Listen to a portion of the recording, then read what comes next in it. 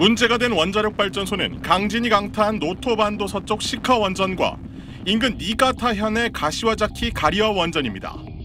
두 원전 모두 2011년 동일본 대지진 이후 가동되지 않던 곳인데 이번 강진으로 사용 후 핵연료 보관 수조에 있던 방사성 물질이 포함된 물이 넘친 겁니다.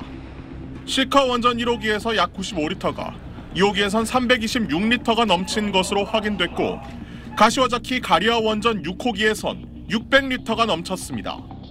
사용 후 핵연료는 치사량의 방사선을 내뿜기 때문에 물을 보관하는 수조가 부서지면 참사를 부를 수 있습니다. 원전 측과 일본 정부는 넘친 물이 외부로 유출되지는 않았다고 밝혔습니다. 시카 원전의 전원 공급용 변압기에서 기름이 새는 게 확인됐고 폭발음과 타는 냄새가 난다는 소식도 들렸습니다. 또 원전 부진의 수위가 3m 정도 상승하고 바닷가 쪽 원자로 방조벽 일부도 수 센티미터 기운 것으로 파악됐다고 NHK는 보도했습니다. えーまた、歯科原子力発電所をはじめ、原子力発電所については、現時点で異常がないことが確認をされております。 중국 관영 매체 글로벌 타임스는 이번 지진으로 원전들이 영향을 받은 만큼 주변 바다의 방사능 수준을 측정하는 게 중요하다고 지적했습니다. 또 모니터링 계획과 투명한 정보 공개를 요구했습니다. SBS 소환욱입니다. 일본 전역에서 유일하게 진도 7의 흔들림이 발생한 노토반도 시카 지역. 시카 원전 1, 2호기의 변압기 배관이 망가졌다고 운영사가 밝혔습니다. 약 2만 리터의 기름이 유출됐는데 원전 앞바다에서 가로 10m, 세로 5m의 기름막이 생긴 걸 확인했다고 발표했습니다. 운영사는 유출된 기름 대부분을 회수했지만 일부 기름이 유증기 상태로 비와 섞여 바다로 흘러들어갔다고 설명했습니다. 바다로 유출된 기름량은 100mm로 추정했습니다. 중화제 등을 투입해 기름을 처리했고 변압기는 방사선 관리 지역에 있지 않아 방사능 유출과도 관계없다고 전했습니다. 시카 원전에서는 지진 초기 사용 후 핵연료 보관 수조에 있던 방사성 물질이 포함된 물 420리터가 흘러넘치기도 했습니다. 일본 정부는 기름 유출 등이 있었으나 원전에 큰 이상은 없다고 밝혔습니다. 구조 골든타임이란 72시간이 지나면서 사망자는 빠르게 늘고 있습니다. 누적 사망자는 하루 사이 40명이 늘어 168명으로 집계됐습니다. 연락 두절은 320여 명으로 증가해 희생자는 더 늘 수 있습니다. 2,300여 명은 고립 상태입니다.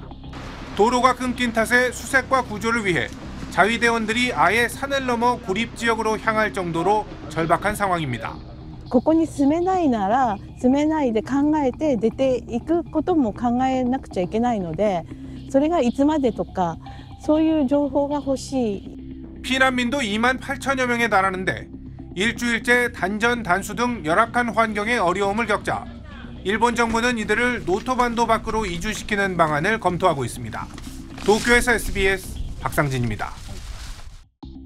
새해 첫날 지진이 강타한 노토반도 시카원전 앞바다에 가로 100m, 세로 30m의 기름막이 또 확인됐다고 운영사가 밝혔습니다. 기름 6리터가량이 유출된 것으로 추정했습니다. 원전 앞바다에선 지난 7일에도 가로 10m, 세로 5m의 기름막이 발견됐습니다. 운영사는 당시 기름을 모두 회수 처리했다고 발표했지만 사흘 만에 더 큰 기름막이 확인된 겁니다. 시카 원전 배관이 이번 강진에 손상되면서 기름이 누출됐다고 운영사는 밝혔습니다. 그러면서 이번에도 방사능 우려는 없고 안전상의 문제도 없다고 밝혔습니다. 하지만 일본 원자력 규제위는 이어지는 여진에 남아있는 변압기도 망가질 수 있다며 빠른 복구를 촉구했습니다.